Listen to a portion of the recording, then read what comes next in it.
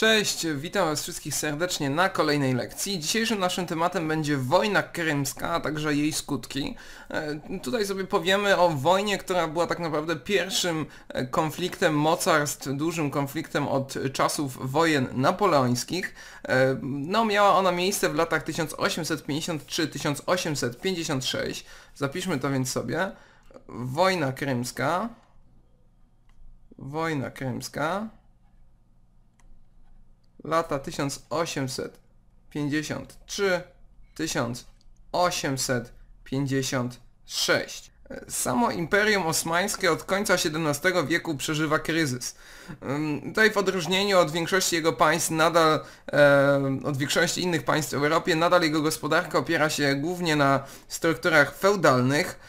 Także mamy silne dążenia separatystyczne wewnątrz kraju, które do, no, powodują jego rozpad. Między innymi niezależność w zasadzie uzyskuje Egipt, czy też jakieś mniejsze księstwa naddunajskie w stylu Wołoszczyzny czy Mołdawii, a także Serbia. E, powszechnie mówi się, zgodnie z, z carem Mikołajem I, on pierwszy użył tego stwierdzenia, że Turcja to chory człowiek Europy, czyli Turcja jest tym chorym człowiekiem Europy, tym niby mocarstwem, ale tak naprawdę państwem, które wewnętrznie jest bardzo słabe. No i ta słabość zachęca Rosjan, e, żeby spełnić swoje marzenia i zapanować nad ciśninami czarnomorskimi, a także dawnym Konstantynopolem. To się zawsze nam wiąże z tą koncepcją e, cesarstwa bizantyjskiego, no to trochę jakby optowało w tle, e, ale tutaj dążenia te się wiązały także z nową ideologią, czyli panslawizmem. Ona zakładała, że car powinien być zwierzchnikiem wszystkich narodów słowiańskich. No a jak tu rządzić Słowianami bez posiadania Bałkanów, które należą przecież do Turcji?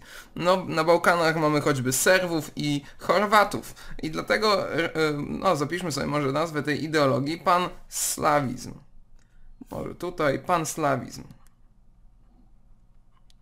Zgodnie z jego ideą Rosja musi zjednoczyć wszystkich Słowian pod swoim e, berłem.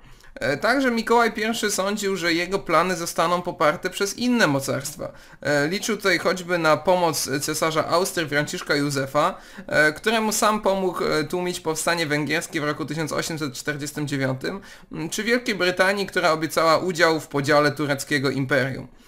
Car jednak tutaj się pomylił. Wielka Brytania nie chciała obecności Rosji E, w Morzu Śródziemnym, bo teraz zauważmy, Rosja by kontrolowała całkowicie Morze Czarne, by miała te cieśniny e, i jednocześnie miała duży dostęp do Morza Śródziem, e, Śródziemnego w ten sposób. Wielka Brytania bała się tutaj pozycji Imperium Rosyjskiego, szczególnie tam jej interesy handlowe były zagrożone. Z kolei sama Austria e, planowała samemu sobie podporządkować Bałkany, coś o czym sobie mówiliśmy, ten konflikt o Bałkany między Rosją a Austrią. E, nie chciała ona także poprzeć Rosji z innych powodów, nie podobała jej się ta e, cała idea panslawizmu. Dlaczego? Panslawizm mógłby poruszyć jakby ruchy narodowe na terenie mm, Imperium Habsburgów, co powodowałoby odłączenie się jakichś poszczególnych elementów, co oczywiście nie szło na rękę, tam Czesi, Słowacy i tak dalej, to wszystko wchodziło w skład Imperium Habsburgów. Im się nie podobał ten panslawizm, mógłby rozbić ich kraj od wewnątrz. E, Francja z kolei, która była rządzona przez Napoleona III, e, sama chciała mieć większe wpływy na Bliskim Wschodzie i w Afryce Północnej. E, sam cesarz Francuzów wolał podnieść prestiż swojego państwa przez wojnę z carami, która byłaby takim rewanżem za wyprawę na, na Moskwę Napoleona, która była przecież całkowitą porażką, niż, niż wspierać tutaj Rosję. E, oficjalnie pretekstem do rozpoczęcia wojny przez cara był spór o opiekę nad miejscami świętymi w Palestynie, Betlejem i Jerozolimą. E, Rosja tutaj żądała przekazania mm, nad nimi e, pieczy duchownym prawosławnym, a Francja duchownym katolickim. I gdy sułtan turecki wtedy Abdulmecid I opowiedział się po stronie katolików, Rosja wypowiedziała wojnę. Możemy sobie zapisać Abdulmecid I. Abdul Mecid Mecid pierwszy. No okej. Okay. Rozpoczyna nam się w 1853 roku wojna z Turcją. Siły rosyjskie wraczają do Mołdawii i na Wołoszczyznę. Także odnoszą zwycięstwo tam nad słabo uzbrojoną armią turecką. Wkrótce flota admirała Nachimowa niszczy flotę sułtańską w bitwie morskiej pod Synopą. No i w zasadzie Turcja już jest na początku wojny jest na granicy trochę porażki. E, i wtedy e, ucieka się ona do pomocy z zachodu. Udzielają jej Francja i Wielka Brytania w roku 1854, a w 1855 nawet Piemont, e, który dąży do zwiększenia jakiegoś swoje, swojego udziału na arenie międzynarodowej, podniesienia swojej rangi, żeby być dostrzeganym jakoś lepiej. No i działania te wojenne są prowadzone od Morza Bałtyckiego aż po Daleki Wschód, ale najcięższe walki toczą się na słynnym Krymie, dlatego też nazywamy tę wojnę wojną krymską. Na Krymie lądują e, siły brytyjskie, francuskie, tureckie i piemonckie i przystępują tam do oblężenia najważniejszej tam twierdzy, którą zresztą widzimy to oblężenie na tym obrazie, czyli twierdzy Sewastopol. Zapiszmy to sobie Sewastopol. To jest twierdza obecnie e, miasto. E, tam trwają walki o nią przez cały rok i kończą się zwycięstwem ostatecznie e, sojuszników Francji, Wielkiej Brytanii, Piemontu i Turcji. Tutaj decyduje głównie e, przewaga techniczna e, sił sprzymierzonych, a także gorsze zaopatrzenie i słabe dowodzenie Rosjan. O co tutaj chodzi dokładnie? E, Brytyjczycy wtedy mieli karabiny kapiszonowe na wyposażeniu, które miały lufy gwintowane, które podkręcały odpowiednio pocisk i pozwalały, znaczy tym ruchem rotacyjnym sprawiać, że pociski szły, byśmy powiedzieli, prościej, celniej przede wszystkim. I nośność takiego karabinu miała około kilometra zasięgu, a celny strzał można było oddać około z 450 metrów. W tym czasie Rosjanie mieli karabiny też kapiszonowe, ale gładko-lufowe, tym razem nie gwintowane, i których zasięg wynosił ledwie 200 metrów, a skuteczny celny strzał 80 do 100. E, czyli zauważmy tą przepaść, kiedy e, żołnierz brytyjski sobie stał tutaj, powiedzmy, mieliśmy między nimi odległość kilometra, to Rosjanie musieli dochodzić, dochodzić, dochodzić, dochodzić i dopiero w tym momencie mogli oddać swój strzał, a w tym czasie tutaj kolejne szeregi by upadały od żołnierza brytyjskiego. Stąd też e, właśnie ta przewaga techniczna, zresztą inne państwa też, nie tylko Wielka Brytania, Francuzi, e, Piemont e, czy też Turcja dostawała sprzęt od Wielkiej Brytanii, oni także byli znacznie lepiej uzbrojeni niż Rosjanie, co tak naprawdę zadecydowało o ich klęsce i pokazało też zacofanie techniczne rosyjskiej armii, bardzo dużej, ale no właśnie technicznie do tyłu. W trakcie także wojny krymskiej miało miejsce taka, takie ciekawe wydarzenie, do którego powiem wam jako ciekawostkę historyczną. W roku 1854 mieliśmy bitwę nad, pod Bałakławą, e, w której 93 Pułk Górali Szkockich, to widzimy to właśnie na obrazie, e, miał, musiał odeprzeć e, taką właśnie, takim szeregiem, byśmy powiedzieli, żołnierzy, atak rosyjskiej kawalerii, który ochronił zarazem cały brytyjski obóz.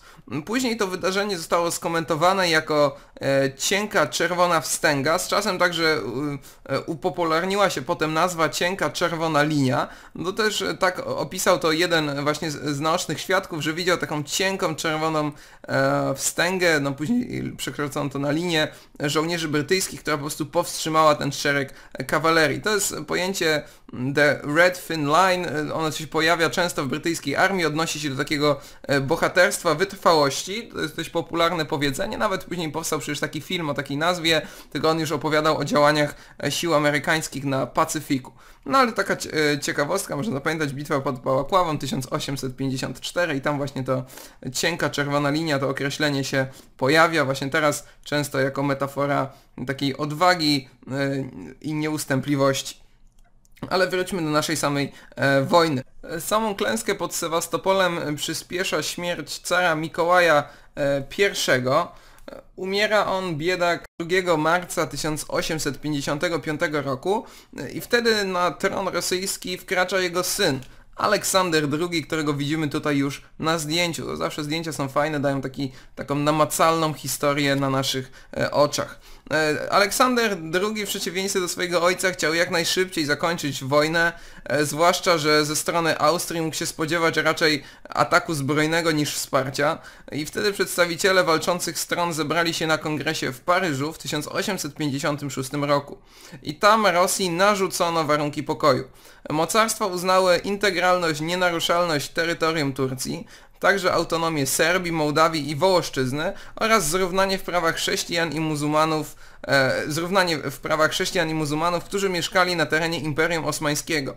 E, wprowadzono także zakaz posiadania floty wojennej na Morzu Czarnym przez e, i Rosję i Imperium Osmańskie, a także postanowiono umiędzynarodowić rzekę Dunaj, a rosyjskie wyspy alandzkie na Bałtyku zdemilitaryzować, e, czyli po prostu zlikwidować tam istniejące dotychczas bazy wojenne, no i zapobiec jakimś kolejnym. E, czyli możemy powiedzieć, że e, pokój jest taki niekorzystny bardzo dla Rosji. Rosja rozpoczęła wojnę, która sama przegrała, wiel wielkie mocarstwo, czyli coś bardzo haniebnego dla niego. Mamy kongres w Paryżu. Kongres w Paryżu. W samej wojnie ginie około pół miliona żołnierzy, czyli bardzo e, dużo jak na tamte czasy. Bitwy są prowadzone w stylu takim bardzo napoleońskim, tutaj się jeszcze dużo nie zmienia. Dopiero tą olbrzymią zmianę zobaczymy w ciągu najbliższych 100 lat, jak te bitwy się olbrzymie zmienią w porównaniu do choćby takiej właśnie wojny e, krymskiej. No tutaj już e, nowa broń zmusi do trochę innego myślenia i innych działań, ale jeszcze wojna krymska to są takie pozostałości taktyk napoleońskich. Też widzimy wszechobecną kawalerię jeszcze. E, czyli mamy... Aha, jeszcze z tych pół miliona żołnierzy dwie trzecie w zasadzie umiera od chorób, nie w wyniku działań wojennych, no i w wyniku tej medycyny, która wtedy taka była, e, była taka no dość średnia. Tak naprawdę największy sukces odnosi tutaj Wielka Brytania, która zachowuje swoją politykę równowagi, to balance of power e, w Europie, o której sobie mówiliśmy przy kongresie wiedeńskim, no bo Rosja chciała ten balans naruszyć, więc Wielka Brytania skutecznie zorganizowała inne mocarstwa przeciwko niej. E, Francja musiała się za to e, zadowolić samym sukcesem, jeśli chodzi o prestiż. Nie zyskała nic takiego materialnego, ale Rosja została upokarzona, przegrała wojnę, po, podpisano zresztą pokój w stolicy Francji, a obradom kongresu przewodniczył naturalny syn tego wielkiego Napoleona Bonapartego, francuski minister spraw zagranicznych Aleksander Walewski. Możecie się zaraz zapytać, ale czemu e, Walewski? No, Napoleon też miał swoje skoki w bok, on e, miał swoją kochankę w Polsce i właśnie z nią mu się urodził syn e, Aleksander Walewski, to było z Marią Walewską. Był on niesamowicie podobny zresztą do mm, ojca, odziedziczył, odziedziczył po nim wysoką rentę i miał taki ciekawy tytuł hrabiego cesarstwa. No taki, dostał taki po, od ojca. No ale wróćmy do naszych spraw. Wojna krymska także stała się końcem świętego przymierza. Państwa członkowskie, czyli Francja i Rosja walczą ze sobą, przecież Austria grozi Rosji. System w zasadzie ten tworzony w kongresie w Wiedniu powoli zaczyna się dekomponować, powoli zaczyna się e, rozpadać. E, jeśli chodzi o sprawę polską, Francja i Wielka Brytania w czasie wojny krymskiej chciały, chciały rozproszenia wojsk rosyjskich na różnych odcinkach, dlatego innymi angażowały jakieś siły na Bałtyku, tam wiązały 300 tysięcy rosyjskich żołnierzy. E, podobny był cel także zaplanowanego powstania ewentualnego antyrosyjskiego na ziemiach polskich. No, Polacy mieli nadzieję, że wybuch wojny krymskiej pozwoli na odbudowę państwa, e, ale polskie ośrodki emigracyjne nie umiały się zjednoczyć w tej sprawie sprawie. E, Towarzystwo Demokratyczne Polskie wysłało do Turcji emisariusza, zresztą bohatera walk na Węgrzech, e, generała Józefa Wysockiego, który miał tam utworzyć Legię Polski. E, także tam działali inni wysłannicy księcia Adama Czartoryskiego, na przykład Michał Czajkowski i generał Władysław Zamojski. Obaj ch chcieli objąć dowodzenie, przez co się bardzo kłócili. Jeden z dowódców zaczął działać nawet na własną rękę. Michał Czajkowski, który przeszedł na islam i przyjął imię Sad Sadyk Pasza uzyskał zgodę Turcji na sformowanie polskiego pułku kozaków ottomańskich, który później walczył na Bałkanach. Z kolei generał Władysław Zamojski zorganizował polską dywizję, która liczyła 3000 żołnierzy na żołdzie brytyjskim. E, na skutek protestu Austrii nie została ona jednak włączona do działań na froncie, e, została rozwiązana w 56. E, samych skróconych dowódców próbował pogodzić Adam Mickiewicz, który też próbował jakieś polskie oddziały organizować w Turcji, no ale te rozmowy przerwała jego śmierć w roku 1855. Samym mocarstwom zachodnim tak naprawdę nie zależało na odbudowie państwa polskiego i szybko ta myśl została porzucona. Delegat Francji w zasadzie przy podpisywaniu pokoju tylko się zadowolił z wypowiedzi posła rosyjskiego, iż car myśli o poprawie sytuacji w Królestwie Polskim. Nie dostano jednak żadnych oficjalnych gwarancji. Sam Czartoryski prosił Francję i Wielką Brytanię, aby coś w tej kwestii zrobiły, ale nic to nie dało. Zakazano organizować jakiegokolwiek wybuchu powstania, wiedziano, że to w niczym nie pomoże, no ale odmienną postawę przyjmuje TDP, które próbuje wywołać powstanie, ale na szczęście Polacy nie poparli żadnego kolejnego powstania, uważali je po prostu za bezsensowne. E, sama klęska e, pod Sewastopolem, także coraz senssze i bardziej stanowcze żądania zmian w Rosji, e, które były wysuwane tam przez Rosjan, przez rosyjskie środowiska, także emigracyjne, zmusiły nowego cara Aleksandra II do wprowadzenia pewnych zmian. Oczywiście on chciał je wprowadzać stopniowo i bardzo mądrze i chciał uniknąć w ten sposób tego zamieszania, które by się z tym wiązało. Przez to w 1861 roku przeprowadza reformę uwłaszczeniową forma uwłaszczeniowa.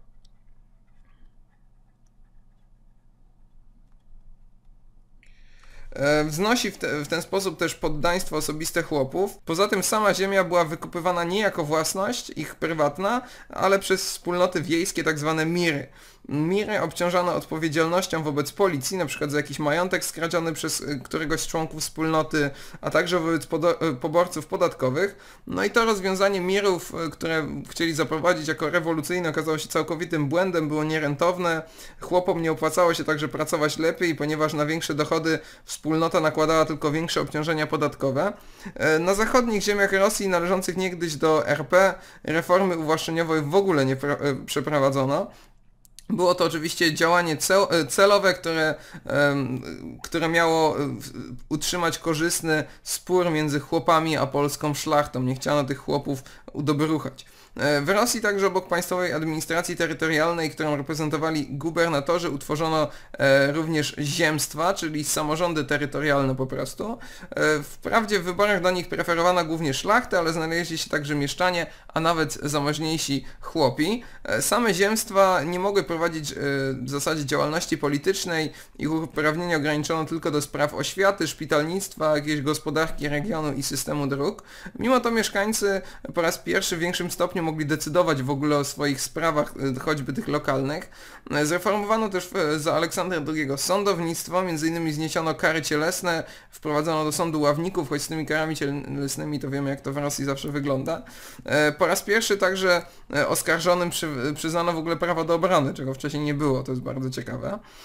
Zmiany nie ominęły także oświaty, wzrasta liczba szkół, uniwersytetom przyznaje się pewną autonomię, jest możliwe odbywanie studiów przez synów chłopów i mieszczan.